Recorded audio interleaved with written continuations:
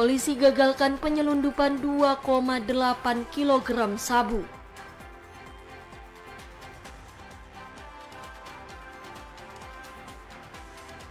Vaksinasi bagi 7 juta warga perkebunan.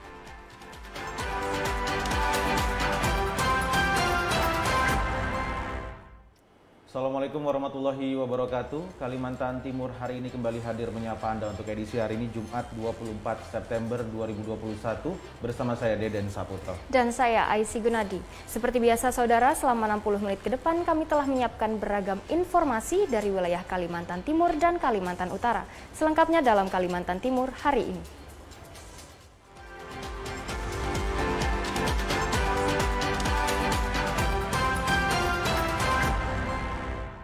Kita informasi yang pertama, Saudara Polres Bulungan kembali menggagalkan penyelundupan narkotika jenis sabu seberat 2,8 kg. Sabu itu merupakan pesanan warga binaan Lembaga Pemasyarakatan kelas 2 Atarakan yang diselundupkan dari Tawau, Malaysia melalui jalur laut menuju Bulungan. Kapolres Bulungan AKBP Ronaldo Maradona Siregar menjelaskan pengungkapan barang haram itu bermula dari penangkapan terhadap tersangka AD yang diduga sebagai kurir. Tersangka AD diamankan di rumahnya di Kelurahan Tanjung Seller Hilir, Kabupaten Bulungan dengan barang bukti sabu yang disimpan di dalam kardus. Selanjutnya dilakukan pengembangan dengan sistem control delivery. AD membawa sabu itu ke lokasi tambak, kemudian tersangka lain yakni AN dan S datang menjemput sabu. Saat tiba di tambak, keduanya langsung diamankan personil Satreskoba Polres Bulungan. Setelah dilakukan pengembangan, AN dan S diperintahkan oleh salah seorang napi lapas terekan berinisial L untuk mengambil sabu yang telah dipesan dari Tawau, Malaysia yang rencananya akan diedarkan ke Samarinda. Dari hasil penangkapan yang dilakukan pertama kali, kemudian ditemukan barang bukti 2,8 kilogram ya ini yang terlihat di depan ini. Kemudian didapati keterangan-keterangan bahwa barang ini melibatkan jaringan peredaran gelap narkoba antar negara. Ya jadi ada keterlibatan orang-orang di luar Indonesia dalam pendistribusian barang gelap berupa sabu-sabu ini. Lebih lanjut, Kapolres mengungkapkan untuk ketiga tersangka diancam pasal 114 ayat 2 Junto, pasal 112 ayat 2 Undang-Undang Republik Indonesia nomor 39 tahun 2009 tentang narkotika dengan ancaman maksimal hukuman mati. Sementara L yang merupakan pemesan barang akan diproses hukum setelah menjalani masa hukumannya di lapas Tarakan. Muhammad Aras dari Bulungan melaporkan. Saudara Presiden Republik Indonesia Joko Widodo membuka kegiatan Gerakan Nasional Vaksinasi 7 Juta Warga Perkebunan dan Desa digelar secara serentak di 17 provinsi di Indonesia secara virtual, termasuk di Provinsi Kalimantan Timur. Gerakan Nasional Vaksinasi 7 Juta Warga Perkebunan dan Desa yang diselenggarakan oleh Gabungan Pengusaha Kelapa Sawit Indonesia GAPKI digelar serempak di 17 wilayah di Indonesia. Di kota Samarinda, vaksinasi massal ini digelar di Gor Serbaguna Kompleks Madia Sempaja dan dihadiri oleh Gubernur dan Wakil Gubernur Kalimantan Timur. Wakil Gubernur Kalimantan Timur Hadi Mulyadi menyampaikan ucapan terima kasih kepada GAPKI yang telah mengadakan acara vaksinasi massal dan semua pihak yang terlibat dalam acara ini. Ia berharap agar Kalimantan Timur bisa segera mewujudkan herd immunity. Di 17 provinsi, kerjasama dengan berbagai pihak, termasuk dengan Apindo, dengan OJK, kami ucapkan terima kasih juga kepada TNI Polri yang terlibat dalam acara ini. Mudah-mudahan Kalimantan Timur, Indonesia segera mencapai herd immunity, karena dari 3,8 penduduk Kaltim yang akan diprioritaskan lebih pasti vaksin 70 persen, berarti 2,7 dan sampai hari ini sudah hampir 40 persen. Mudah-mudahan nanti terus sampai pada 70 sampai 100 persen di angka 2,7 itu kita sudah bisa melakukan aktivitas seperti biasa. Wakil Ketua 1 GAPKI Kaltim Hendro Setio Aji mengatakan pihaknya menargetkan 1000 kuota vaksin, namun hanya tersedia 800 kuota vaksin Sinovac, sisanya menunggu kiriman dari pusat. Terima kasih, salam sehat.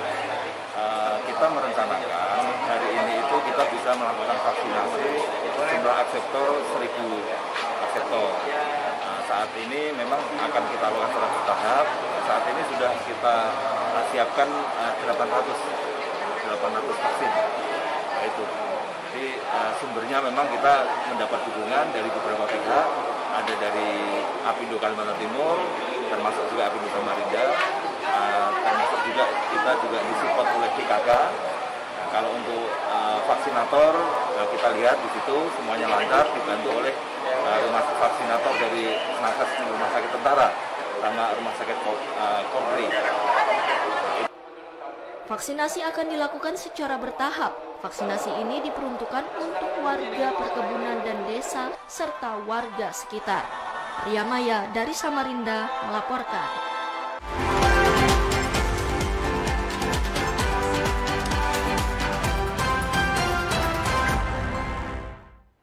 Saudara, dalam rangka membantu pemerintah untuk mempercepat terbentuknya herd immunity, Kodim 0907 Tarakan menggelar serbuan vaksin COVID-19 kepada masyarakat.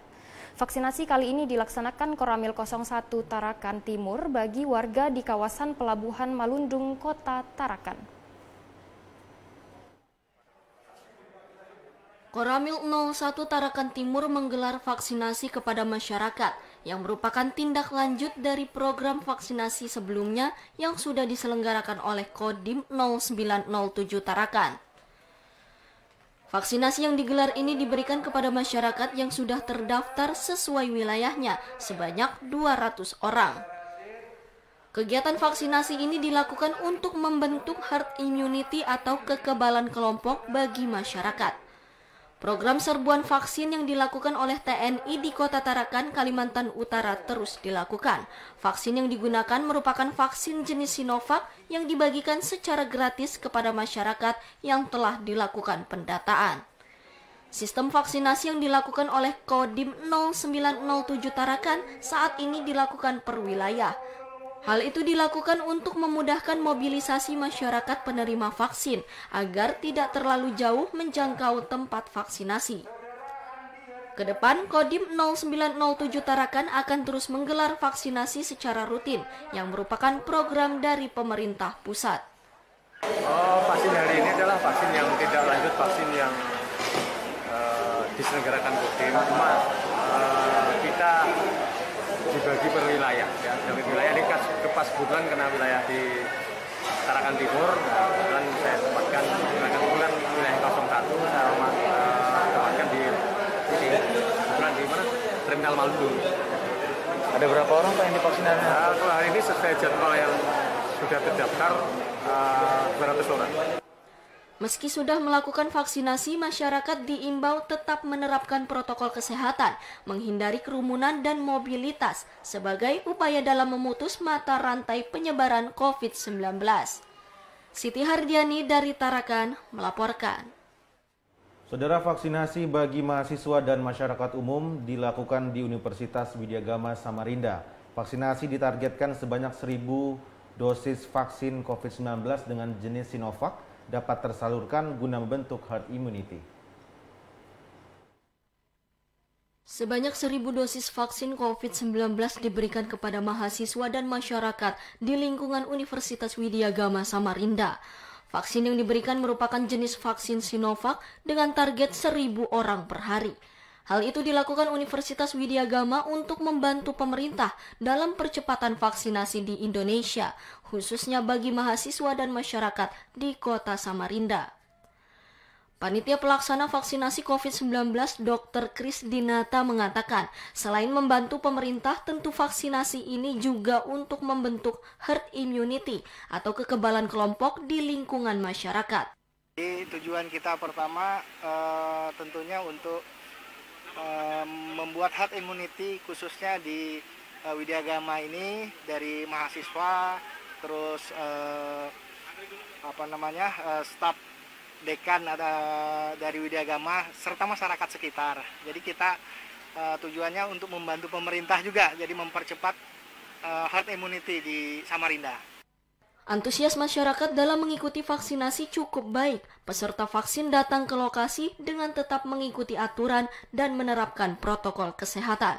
Setelah penyuntikan vaksin dilakukan, peserta diminta untuk melakukan observasi selama 15 menit. Salah seorang peserta vaksinasi, Umi Hoirotun, mengaku tidak mengalami gejala yang berarti pasca vaksinasi. Selain itu, peserta vaksin lainnya, Kristoni berharap bisa memberi kekebalan di dalam tubuh untuk melawan virus corona. Setelah divaksin, uh, saya ekspektasinya itu sakit disuntik, tapi rasanya nggak sakit gitu. Tahu-tahu jarumnya udah dicabut, jadi rasanya nggak sakit kok. Tadi sih saya nggak sarapan, jadi tadi tuh agak apa batuk-batuk gitu. Terus saya sarapan di ujung situ, jadi udah nggak apa-apa. Udah. Di pertahanan tubuh untuk melawan ini COVID-nya bisa lebih inilah, lebih kuat lah. Uh, lebih. Soalnya sebelumnya kan belum pernah vaksin, jadi takut-takut juga kalau kena kena COVID-nya. Pasca vaksinasi, mahasiswa dan masyarakat diimbau tetap menerapkan protokol kesehatan 5M di mana pun berada agar terhindar dari COVID-19. Febiola Maji dari Samarinda melaporkan. Saudara ribuan mahasiswa antusias mengikuti program vaksinasi. Para mahasiswa berharap dengan mendapatkan vaksin dapat membentuk kekebalan tubuh terhadap COVID-19. Berikut kami rangkum dalam segmen Fox Pop kali ini.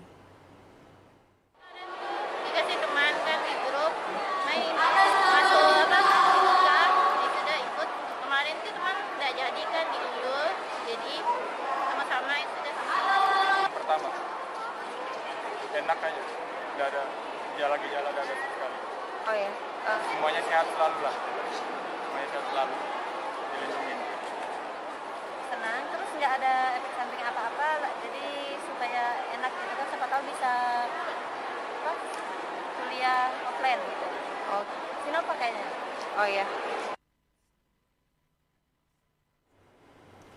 Saudara sebanyak 750 vaksin diberikan bagi pelajar dan masyarakat di Kutai Barat. Selain vaksinasi bagi pelajar, Polres Kutai Barat juga memberikan bantuan sosial kepada masyarakat yang terdampak COVID-19.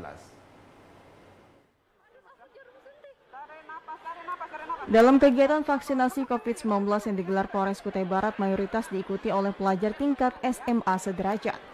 Pelajar yang datang dari berbagai sekolah di Kutai Barat ini sangat antusias untuk mendapatkan vaksinasi dosis pertama dengan jenis vaksin Sinovac. Vaksinasi yang digelar di Taman Budaya Sendawar ini tentu mendapat respon dari beberapa pelajar yang sudah lama menantikan vaksinasi. Salah seorang pelajar Theophilus Fidelis mengaku senang karena sekolah mengadakan vaksinasi bagi pelajar. Merasa lebih baikkan lah, Men kayak menambah imun tubuh. Harapannya lain bisa mau ikut vaksin? Kan sekarang jarang orang nggak mau ikut vaksin. Dari sekolahmu berapa orang yang ikut vaksin? Mungkin hampir mau semuanya. Karena ada yang lain ada yang kendala tempatnya jauh dan ada yang kebanjiran.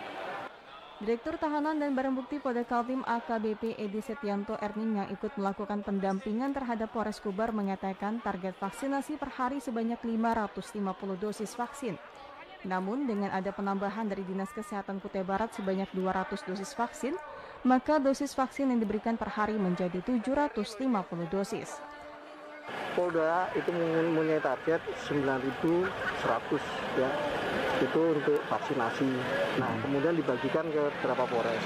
Kebetulan Polres Kubar, ya terima kasih Pak Kapolres sudah melakukan kegiatan secara maksimal ya. Polres Kubar eh, pelaksanaan vaksin kemarin yang targetnya 500 per hari ya. Kemudian hari ini Kupas Kubar melakukan vaksinasi 205, eh, 750 vaksin ya. Ditambah dengan Dinas Kesehatan 200 ya vaksinnya di kesehatan. Jadi kalau kita lihat target ini terpenuhi. Selain vaksinasi, Polres Kubar juga menyalurkan bantuan sebanyak 2 ton beras kepada masyarakat terdampak COVID-19 di Kabupaten Kutai Barat. Vaksinasi ini diharapkan dapat mempercepat terbentuknya herd immunity serta turut membantu pemerintah dalam melaksanakan vaksinasi bagi pelajar untuk bisa melakukan pembelajaran tatap muka terbatas di Kutai Barat.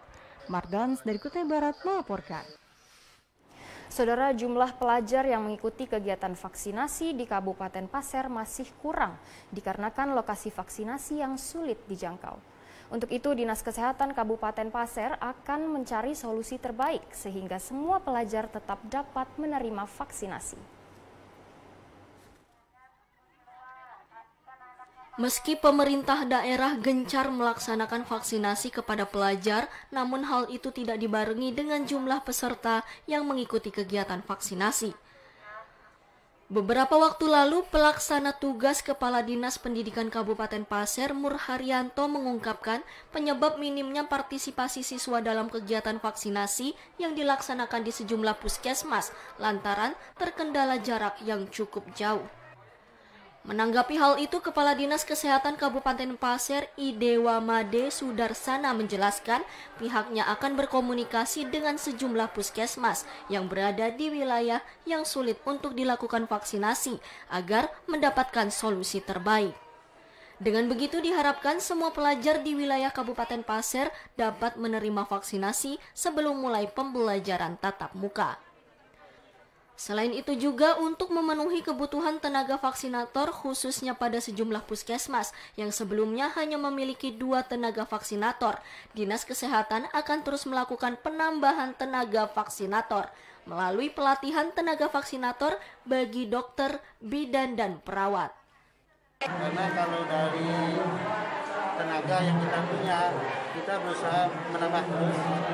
Karena mulai kemarin juga banyak yang sudah ikut pelatihan vaksinator sehingga ke depan kita harapkan tenaga vaksinator ini mencukupi.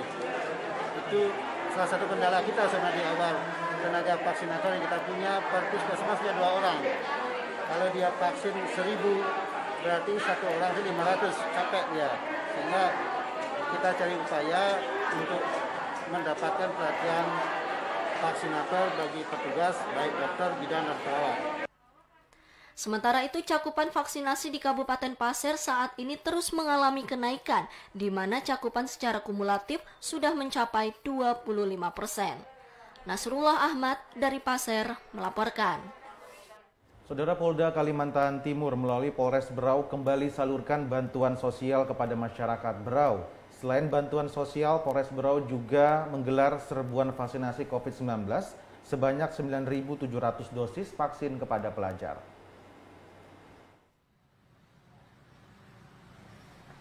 Polres Berau kembali salurkan bantuan 10 ton beras kepada masyarakat.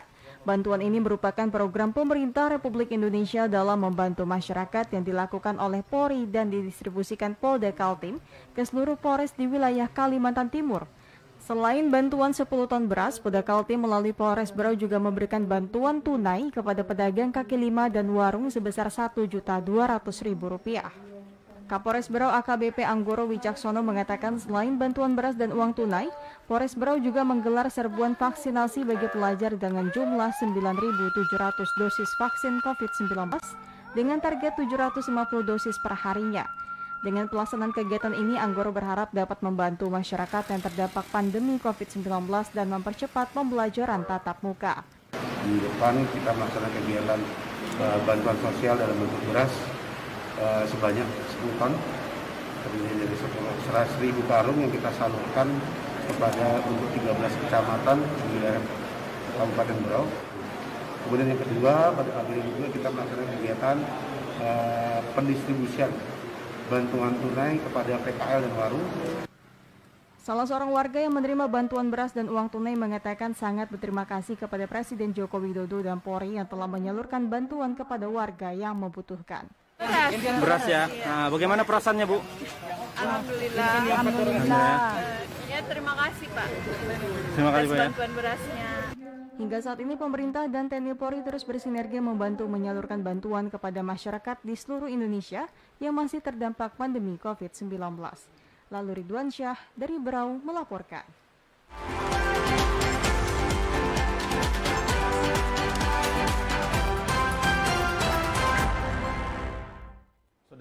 Informasi lain kami hadirkan usai jeda berikut ini. Tetaplah bersama kami di Kalimantan Timur hari ini.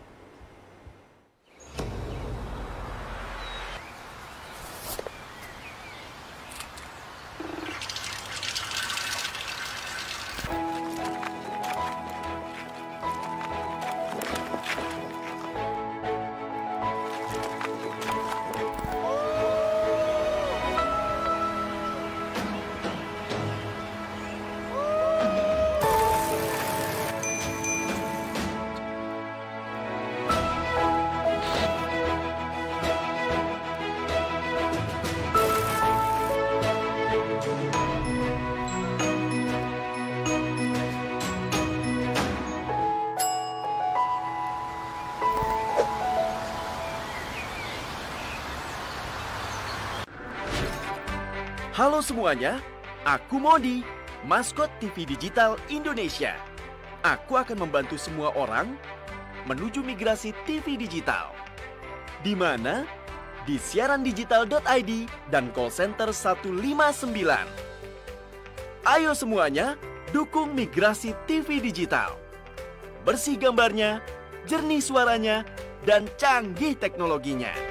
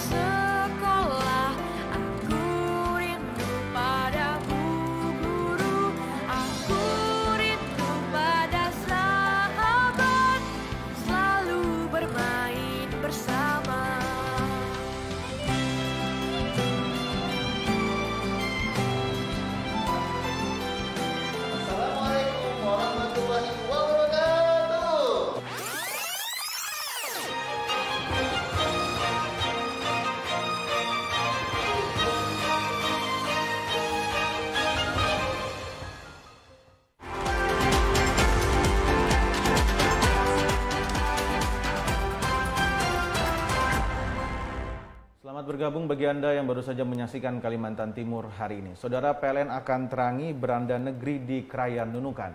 Selengkapnya dalam segmen advertorial berikut ini.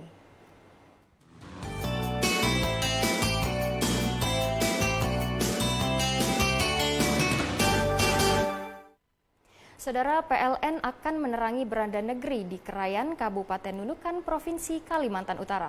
Saat ini PLN tengah, tengah membangun jaringan listrik distribusi untuk sejumlah desa. Ditargetkan listrik akan mengaliri kawasan itu pada akhir tahun 2021. Pembangunan jaringan listrik desa terus dilakukan PLN dalam rangka peningkatan rasio desa berlistrik. Daerah perbatasan Indonesia dan Malaysia merupakan kawasan prioritas PLN unit induk wilayah Kaltimbra untuk menerangi. Krayan yang merupakan salah satu kecamatan di Kabupaten Nunukan Provinsi Kalimantan Utara terletak di kawasan perbatasan Indonesia dan Malaysia yang ada di bagian utara Pulau Kalimantan. Pada tahun 2021 ditargetkan 32 desa di Krayan akan dialiri listrik oleh PLN. Manajer UP2K Kaltara Nur Hakim mengatakan 13 desa di Krayan saat ini sudah teraliri listrik.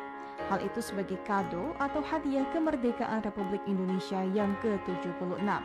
Saat ini masih tersisa 19 desa lagi di Krayan Barat dan Krayan Timur yang belum teraliri listrik. PLN tengah membangun jaringan listrik distribusi untuk 19 desa itu. Untuk itu, pembangunan 19 desa lainnya terus diupayakan agar dapat selesai pada tahun 2021 sehingga dapat menyala di akhir tahun 2021. Targetkan tahun 2021 di Kerayan ada 32 desa yang akan dilistriki PLN di mana 13 desa sudah dinyalakan pada bulan Agustus dan 19 desa lainnya masih dalam proses pembangunan yang akan ditargetkan menyala pada akhir tahun 2021 dengan potensi pelanggan yang akan dilistriki kurang lebih 932 rumah tangga. Inilah komitmen kami dalam melistriki beranda negeri Indonesia. Total panjang jaringan pada tahun ini yang direncanakan untuk daerah Krayan sepanjang 33,52 km sirkuit untuk jaringan tegangan menengah, 18,88 km sirkuit untuk jaringan tegangan rendah, serta dengan kapasitas total 575 kV ampere untuk gardu distribusi terpasang. Jaringan listrik itu diproyeksikan untuk memenuhi kebutuhan listrik sebanyak 932 rumah tangga. Lokasi perbatasan merupakan tantangan tersendiri dalam pembangunan jaringan di daerah Krayan. Terbatasnya akses untuk dapat menuju daerah Krayan membuat pengiriman material harus dilakukan melalui darat dan udara. Material dari gudang PLN di Berau diangkut menggunakan truk menuju Malinau. Selanjutnya material tersebut harus diangkut melalui jalur udara dengan pesawat. Proses pengiriman material membutuhkan waktu selama satu hingga dua bulan dikarenakan jarak tempuh yang jauh dan tahapan yang panjang. Dengan masuknya listrik di daerah perbatasan Indonesia diharapkan dapat membuat peningkatan ekonomi daerah perbatasan. Hal ini sejalan dengan program pemerintah dalam peningkatan rasio elektrifikasi listrik untuk kehidupan yang lebih baik. Tim redaksi TVRI Kaltim melaporkan. Kita beralih ke informasi lain, Saudara Bupati Kutai Barat FX Siapan meresmikan ruang data dan informasi di Balai Penyuluhan Pertanian atau BPP Sekolah Darat. Selain itu juga Bupati melaunching sayembara logo Pekan Daerah Kelompok Tani Nelayan Andalan atau PEDA KTNA ke-11 Provinsi Kalimantan Timur tahun 2024 yang akan dilaksanakan di Kutai Barat. Bupati Kutai Barat FX Siapan meresmikan ruang data dan informasi di Balai Penyuluh Pertanian Kecamatan Sekolak Darat. Balai Penyuluh Pertanian ini nantinya akan menjadi pusat informasi bagi penyuluh dan petani. Ruang data dan informasi ini telah dilengkapi dengan berbagai fasilitas multimedia dan sarana untuk telekonferensi guna mendukung kegiatan secara daring. Fasilitas multimedia yang disediakan bersumber dari anggaran dana alokasi khusus penugasan bidang pertanian dan diberikan kepada 11 balai penyuluh pertanian yang ada di Kutai Barat. FX Siapan berharap fasilitas ini nantinya dapat dimanfaatkan dengan maksimal, sehingga kebutuhan akan informasi dapat terpenuhi bagi tenaga penyuluh dan para petani.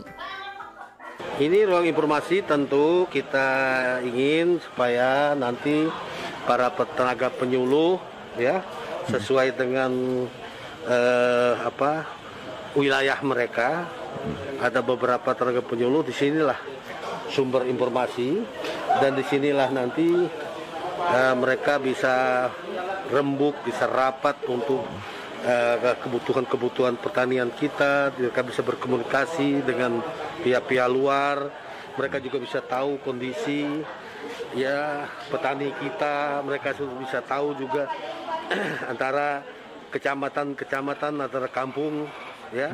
Karena belum tentu dari kecamatan ini tahu kondisi kecamatan ini. Kampung ini tahu kampung kondisi kampung ini. Saat mengunjungi ruang data dan informasi, Bupati juga menguji coba fasilitas virtual meeting bersama 16 balai penyuluh pertanian. Setelah itu, Bupati menyalurkan bantuan bagi para kelompok tani berupa dua unit pompa air, dua unit hand traktor rotary, satu unit hand sprayer elektrik, Bantuan itu bersumber dari Kementerian Pertanian Aspirasi G. Budi Satrio Jiwandono. Selanjutnya bantuan dua unit kultivator untuk Kecamatan Barontongko yang bersumber dari Kementerian Pertanian tahun anggaran 2021. Bantuan bersumber dari Keuangan Provinsi Banqiu tahun anggaran 2021 dengan bantuan pupuk organik cair dengan jumlah 174.790 liter yang tersebar di 16 kecamatan di Kabupaten Kutai Barat. Ketua Badan Kehormatan dan anggota Komisi 3 DPRD Provinsi Kalimantan Timur, Ekti Immanuel mengatakan pihaknya mendukung program yang dilakukan oleh Pemda Kutai Barat. Pihaknya juga telah menyalurkan bantuan berupa pupuk cair bagi petani di Kutai Barat melalui dana aspirasi terkait dengan pertanian di Kutai Barat tentu kita harus membantu ya karena ini program pemerintah kabupaten. Visi misi Pak Bupati yang ada ini ketahanan pangan. Dan di masa pandemi ini ya memang kita harus bantu terkait dengan visi misi nah yang sudah kita lakukan sekarang ini kan kalau dari provinsi ya melalui dana aspirasi kita ya pengadaan pupuk. Uh, pemberian pupuk gratis tadi pupuk cair itu yang uh, kita lakukan sekarang untuk petani di Kutai Barat. Kita dari provinsi sekarang uh, baru uh, pupuk ya, pupuk cair hayati. Selain bantuan peralatan, Pemkap juga memberikan bantuan ternak babi betina 235 ekor dan jantan 40 ekor, sumber dana APBD 2 di 5 kecamatan. Bantuan ternak kambing jantan 2 ekor dan betina 18 ekor, sumber dana APBD 2 di satu kecamatan, dan bantuan ternak sapi jantan 14 ekor dan betina 11 ekor, sumber dana APBD 2 dan di dua kecamatan. Mardans dari Kutai Barat melaporkan. Sementara itu, Saudara Dinas Pertanian Kutai Barat menggelar pelatihan dan pendidikan bagi penyuluh pertanian lapangan. Hal ini dilakukan agar dapat meningkatkan mutu dan kualitas pertanian dari berbagai aspek. Diharapkan kegiatan ini akan memberikan dampak positif bagi hasil pertanian petani di Kutai Barat.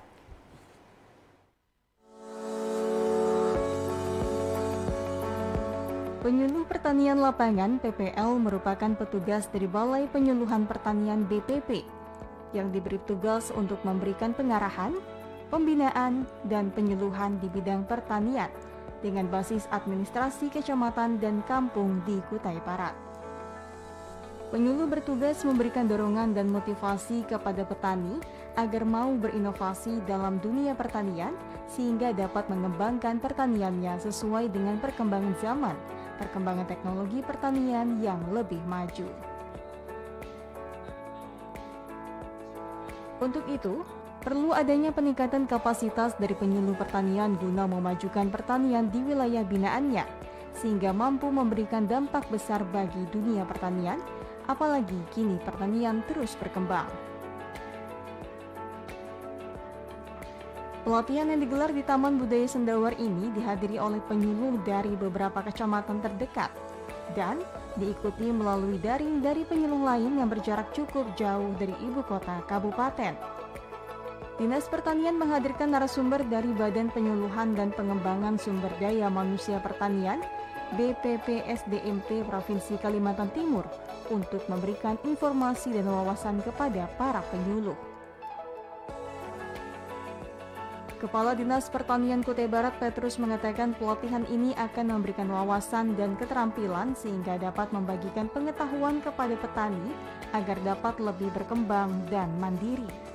Pelatihan ini tentunya kami uh, punya tujuan untuk meningkatkan kompetensi penyuluh kita yang ada di lapangan. Karena seperti saya sampaikan tadi bahwa untuk kita mempunyai uh, pengetahuan dan kompetensi yang uh, bagus tentunya uh, tidak instan melalui proses ya proses baik itu pengalaman di lapangan juga melalui pendidikan-pendidikan yang dilakukan seperti ini sehingga uh, pengetahuan penyuluh kita bisa di-upgrade ya. Bisa uh, me, me, apa, menambah menambah wawasan dan keterampilan. Bagaimana nanti uh, di lapangan bisa betul-betul mengaplikasikan dan bisa mentransfer pengetahuan-pengetahuan tentang pertanian baik secara teknis kepada petani sehingga harapannya tentunya petani bisa bisa uh, seperti saya sampaikan bisa mandiri tadi bisa mempunyai keterampilan dan sikap di dalam berkelompok itu menjadi uh, lebih baik ya. Lebih baik. Sehingga produk-produk yang kita hasilkan pun harapan kita bisa mempunyai daya saing dan mempunyai uh, kualitas apa produksi yang bagus, kualitas kualitas hasil pertanian itu yang memang kita harapkan bisa bersaing di luar.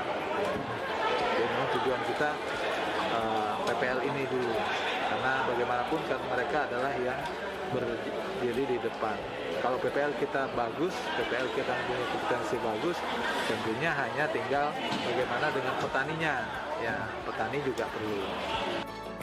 Ditambahkan Petrus, kompetensi penyuluh merupakan salah satu lini penting yang mampu mempercepat perkembangan pertanian hingga ke pelosok daerah. Penyuluh akan menyampaikan informasi dan membantu petani secara langsung. Terlebih, penyuluh pertanian tersebar di 16 kecamatan yang ada di Kutai Barat. Penyuluh pertanian kini dituntut untuk memiliki kualifikasi yang dibuktikan dengan sertifikasi penyuluh. Saat ini, penyuluh dengan sertifikasi kompetensi di Kutai Barat masih terbatas. Hanya 35 orang termasuk PNS. Martans dari Kutai Barat melaporkan.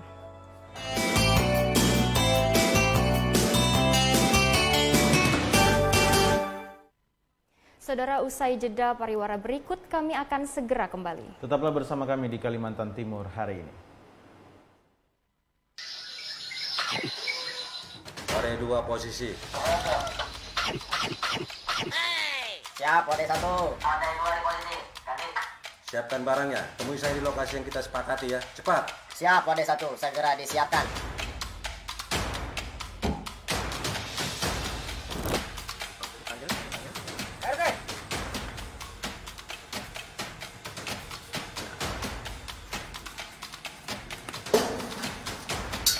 Ah, orangnya di pagar.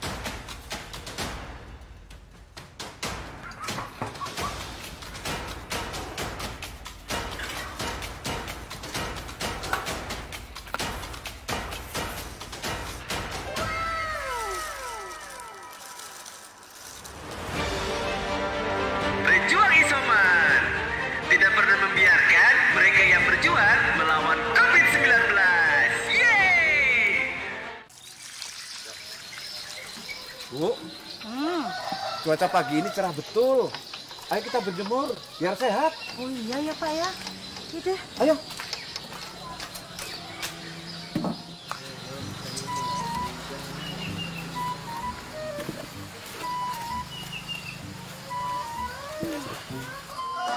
Jangan lama-lama berjemurnya.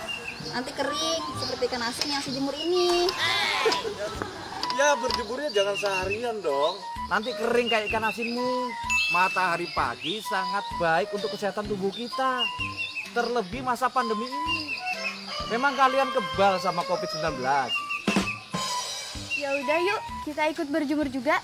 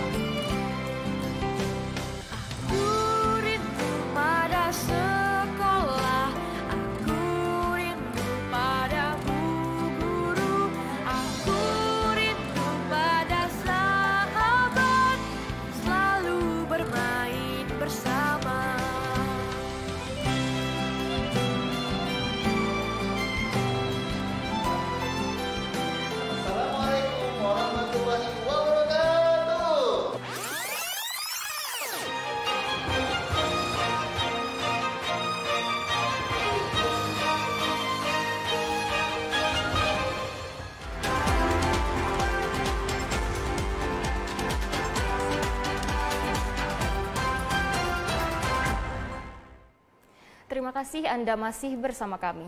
Informasi selanjutnya, Saudara, Hari Tani Nasional diperingati setiap tanggal 24 September. Ya, Serikat Petani Indonesia mengusung tema percepatan penyelesaian konflik agraria dan penguatan kebijakan reforma agraria untuk menegakkan kedaulatan pangan dan memajukan kesejahteraan petani dan rakyat Indonesia. Indonesia dikenal sebagai negara agraris. Menurut Kamus Besar Bahasa Indonesia, agraris memiliki tiga arti. Pertama, agraris adalah mengenai pertanian atau tanah pertanian. Kedua, agraris merupakan pertanian atau cara hidup petani. Dan ketiga, agraris bersifat pertanian. Indonesia disebut sebagai negara agraris karena sebagian besar penduduknya bermata pencaharian sebagai petani. Negara Indonesia memiliki tanah yang subur karena mendapatkan sinar matahari dan curah hujan yang tinggi. Hasil pertanian di Indonesia pun beragam dan bermacam-macam, mulai dari sayur-sayuran hingga buah-buahan. Beberapa hasil sektor pertanian Indonesia adalah padi, ketela, ubi, kentang, sayuran, kacang-kacangan, dan sebagainya. Setelah panen, para petani akan menjual hasil panennya. Pemerintah Indonesia menetapkan Hari Tani Nasional pada tanggal 24 September. Peringatan ini dibuat sebagai upaya perombak struktur agraria Indonesia yang timpang dan syarat akan kepentingan sebagian golongan akibat warisan kolonialisme di masa lalu. Kini, reforma agraria menghadapi tantangan yang baru. Pada tahun 2019 hingga 2024, reforma agraria dan kedaulatan pangan dimasukkan dalam program prioritas dalam Nawacita 9 program prioritas. Dilansir dari Serikat Petani Indonesia SPI, Hari Tani Nasional 2021 mengusung tema percepatan penyelesaian konflik agraria dan penguatan kebijakan reforma agraria untuk menegakkan kedaulatan pangan dan memajukan kesejahteraan petani dan rakyat Indonesia. Tema itu diambil guna mengingat upaya untuk terus meneguhkan percepatan reforma agraria dan penguatan kebijakan reforma agraria. SPI mendorong pembentukan kampung-kampung reforma agraria dan kawasan daulat pangan, yakni kekuatan masa petani sebagai motor penggerak utama dalam meredistribusi tanah dan membangun kehidupan secara kolektif. Kampung-kampung reforma agraria merupakan wujud dari pelaksanaan reforma agraria sejati, karena selain menjawab persoalan ketimpangan kepemilikan tanah di Indonesia, Kampung Reforma Agraria SPI juga menjadi fondasi penting bagi pelaksanaan kedaulatan pangan di Indonesia. Tim redaksi TVRI Kaltim melaporkan. Saudara Satlantas Polresta Balikpapan menggelar operasi Patuh Mahakam 2021 dengan cara mengingatkan masyarakat agar tetap menerapkan protokol kesehatan. Sejumlah masyarakat yang berada di pasar tradisional diberi masker agar tetap menjaga prokes selama beraktivitas. Beginilah cara Satlantas Polresta Balikpapan saat melaksanakan operasi Patuh Mahakam 2021. Dalam operasi makam kali ini tidak ada penilangan ataupun sanksi.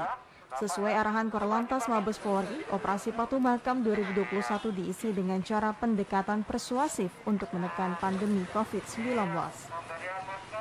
Salah satu cara yang dilakukan jajaran Satlantas Polresta Balikpapan adalah dengan kembali mengingatkan masyarakat agar tetap patuh pada prokes khususnya di pasar tradisional. Kasat Lantas Polresta Balikpapan Kompol Irawan Setiono mengatakan dipilihnya pasar tradisional lantaran tingginya aktivitas warga, namun masih sering terabaikannya prokes.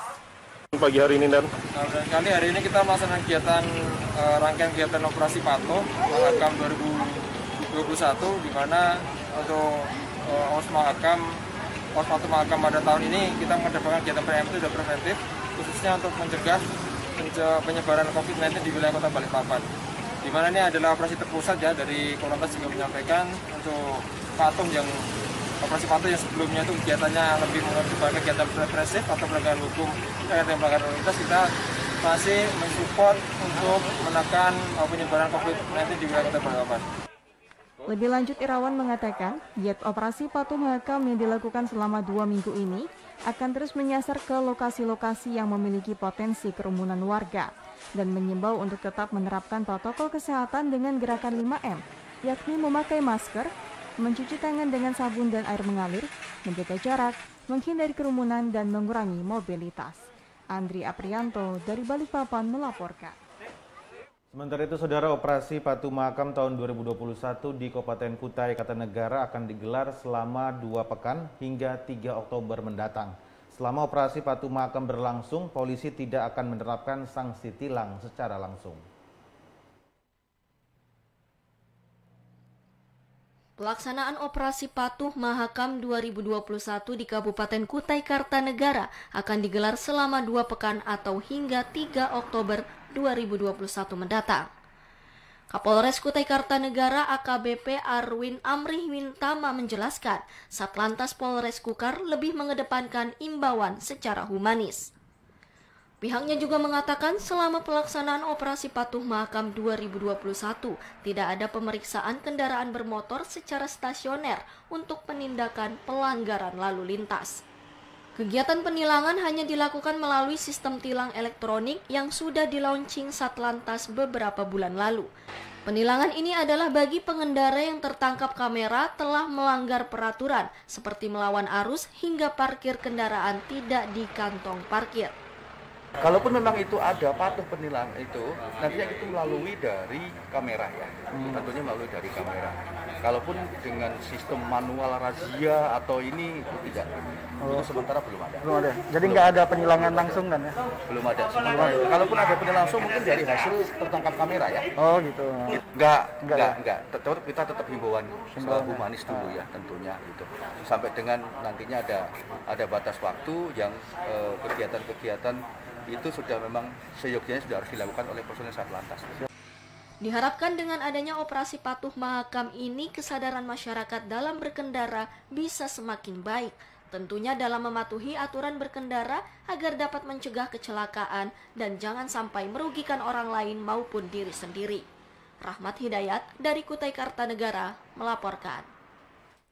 Bupati Pasir Fahmi Fadli memberikan instruksi langsung kepada Satgas Penanganan COVID-19 Kabupaten Pasir untuk tidak lagi memberlakukan sanksi bagi pelanggar protokol kesehatan. Hal itu berdampak pada tidak adanya penarikan biaya dari pelanggar yang tidak menggunakan masker sesuai peraturan Bupati Pasir nomor 78 tahun 2021.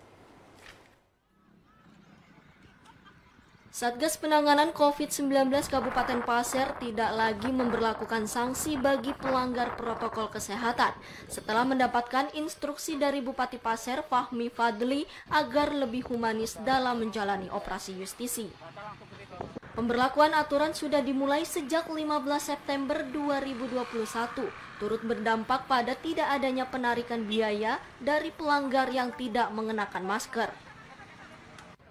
Sesuai peraturan Bupati Pasir nomor 78 tahun 2020 tentang penerapan disiplin dan penegakan hukum protokol kesehatan dengan sanksi denda administratif sebesar Rp100.000 bagi perorangan dan Rp500.000 bagi pelaku usaha. Kepala Bapenda Kabupaten Pasir Abdul Bashid menyatakan penerimaan biaya hasil denda sudah berakhir pada 14 September 2021 dengan total mencapai Rp132.223.000. Jumlah uang tersebut merupakan kumulatif dari dimulainya penerapan denda pada 11 Januari 2021 lalu dengan keseluruhan sebanyak 1.404 pelanggar, baik yang meliputi perorangan maupun pelaku usaha. Uh, sampai bulan bulan Agustus ya ya bulan Agustus sekitar 300-an juta ya sebelumnya itu ya. ya kan? Oh iya, um, ini Pak 130 130-an ya? Iya. Nah, 130-an juta. Itu hanya di bulan Agustus? Enggak, dari Januari. Oh, dari Januari sampai sekarang. Makanya bilang saya dari dari Agustus, dari Juni mungkin itu sudah menurun menurun terus makanya yang terjaring itu kadang-kadang tiga dua hmm. waktu awal-awal 35 hmm. 25 artinya kan itu ada peningkatan disiplin masyarakat kan ya. terhadap itu nah mungkin dari itu juga bupati mengumumkan apa kalau dia itu manis saja lah sudah Selain mewajibkan petugas agar lebih humanis dan tidak memberlakukan denda pelanggaran prokes, Bupati Pasir turut menekankan agar petugas memberikan masker jika pada saat operasi justisi petugas masih menemui adanya warga yang tidak menggunakan masker. Nasrullah Ahmad dari Pasir melaporkan. Dinas Pendidikan Penajam Pasir Utara berharap agar pemerintah Provinsi Kalimantan Timur bisa memberikan izin untuk PTM terbatas tingkat SMA di wilayahnya. Sebab level zona penyebaran COVID-19 di Penajam Pasir Utara dominan kuning dan hijau. Terlebih gelaran vaksinasi bagi pelajar terus digencarkan. Seluruh tingkat satuan pendidikan di bawah naungan pemerintah Kabupaten Penajam Pasir Utara telah melaksanakan pembelajaran tatap muka atau PTM terbatas di sekolah sejak pertengahan Agustus 2021. Namun, sekolah lanjutan tingkat atas di PPU belum menggelar PTM. Hal ini dikarenakan berada di bawah naungan pemerintah Provinsi Kalimantan Timur. Hingga saat ini Pemprov Kaltim belum mengeluarkan izin pelaksanaan PTM bagi seluruh SLTA di PPU. Kepala Dinas Pendidikan Pemuda dan Olahraga PPU Alimudin mengatakan dengan adanya gelaran vaksinasi bagi pelajar serta menyusul status penyebaran COVID-19 yang sudah dominan level kuning dan hijau, Pemprov Kaltim diharapkan bisa sejalan dengan pihaknya agar turut membuka kembali sekolah tingkat SLTA di PPU. Nah, saran kami ke dana SMA walaupun bukan menjadi kewenangan ya, sel eh, sebaiknya pemerintah provinsi demi menutupi learning loss siswa itu menyesuaikan dengan zona wilayah wilayah daerah. Karena di sini SD sudah masuk, TK sudah masuk, SMP sudah masuk, eh, sebaiknya juga SMA masuk. Sehingga eh, tidak dibedakan sehingga anak-anak ini bisa mengejar secara pelan-pelan untuk ketertinggalan pembelajaran. Para pelajar tingkat SMA yang sudah mendapatkan vaksin mengatakan vaksinasi ini merupakan upaya kesiapan mereka dalam mengikuti pembelajaran tatap muka di sekolah. Kayak semut sih. Hah? Nggak terlalu sakit, biasa aja. Biasa aja. Awalnya grogi nggak sih? Grogi kayak takut-takut gitu. Ini kenapa mau divaksin? Ini rencana mau apa? Nah, vaksin aja. Kan ini sekolah offline terus nih kan syarat untuk bisa la- jalan sekolah offline-nya kan harus vaksin. Itu itu nggak sih tujuannya? Iya. Iya. Biar bisa sekolah tetap muka. Nah nih pertama. Pertamanya sih grogi tapi aman aja setelah vaksinnya. Oh aman aja ya. Eh, ini tujuan mau divaksin apa sih sebenarnya? Biar cepat sekolah offline. Oh cepat sekolah offline. Sejauh ini gimana sih? Eh, kan lama juga nih nunggu vaksin nih. Iya. Sebenarnya nungguin nggak sih vaksin biar cepat divaksin?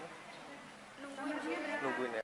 Untuk diketahui, kasus suspek isolasi mandiri pasien COVID-19 di Penajam Pasir Utara kini tercatat hanya terdapat empat orang tambahan.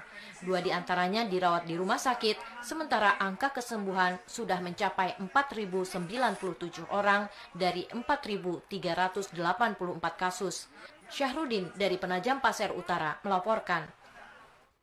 Kita beralih ke informasi selanjutnya, Saudara Gubernur Kalimantan Timur, Isran Nur, melakukan pelepasan kontingen Kaltim untuk mengikuti PON ke-20 di Papua.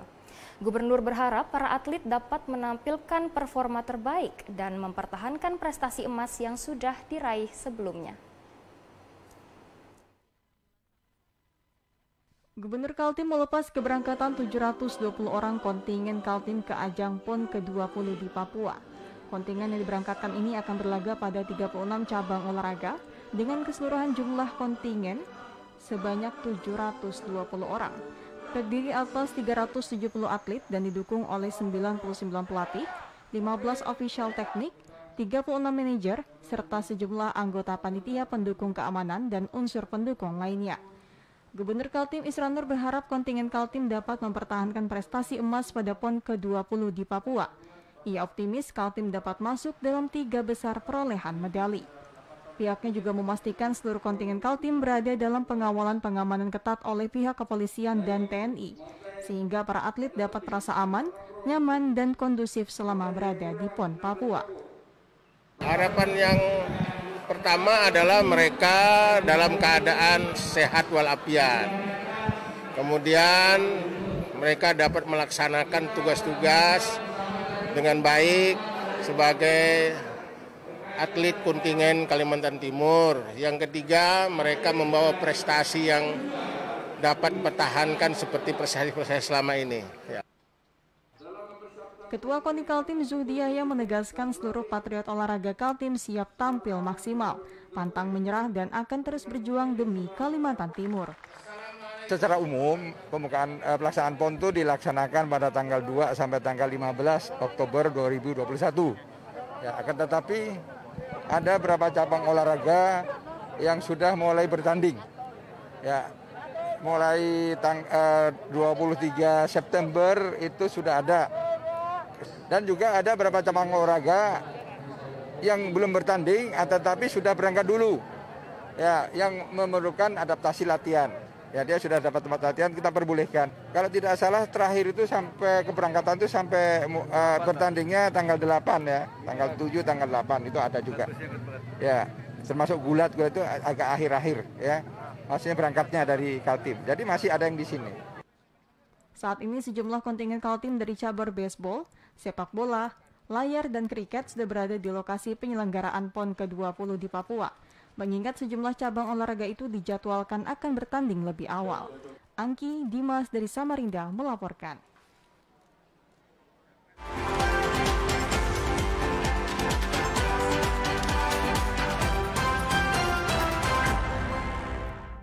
Saudara bagi Anda yang baru saja bergabung bersama kami, kembali kami hadirkan rangkuman informasi utama. Di antaranya, polisi gagalkan penyelundupan 2,8 kg sabu.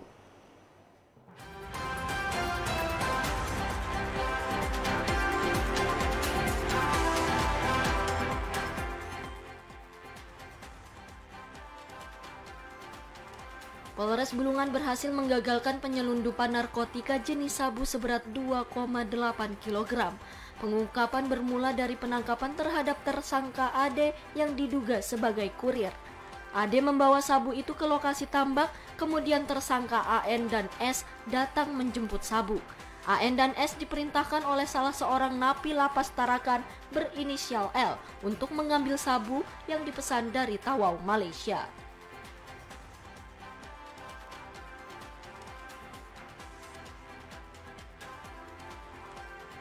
Presiden Republik Indonesia Joko Widodo membuka kegiatan Gerakan Nasional Vaksinasi 7 juta warga perkebunan dan desa digelar secara serempak di 17 provinsi di Indonesia secara virtual, termasuk di Provinsi Kalimantan Timur. Vaksinasi massal ini digelar di Gor Serbaguna Kompleks Madya Sempaja yang diperuntukkan bagi warga perkebunan dan desa serta warga sekitar.